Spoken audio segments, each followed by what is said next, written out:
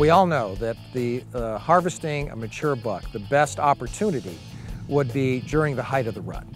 But unless you're out in the field on a pretty regular basis, it's difficult to know exactly what stage the rut is in.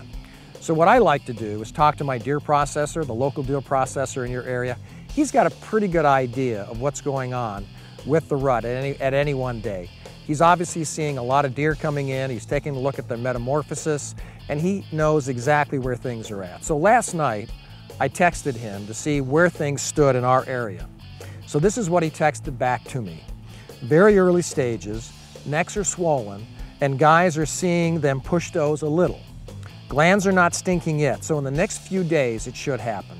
With this type of information, you have a much higher likelihood of maximizing your time in the field to harvest that buck of a lifetime.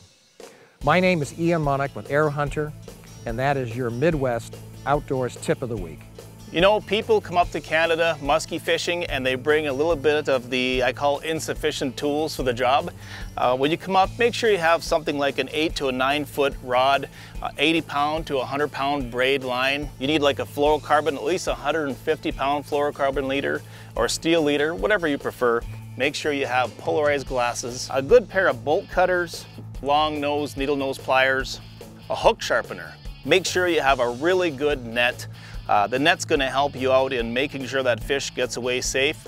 A really good measuring board and a mouth spreader. Preferably uh, mouth spreaders that have a little bit of Teflon on the ends of them. I'm Jeff Moreau from Temple Bay Lodge, and that is your Midwest Outdoors Tip of the Week.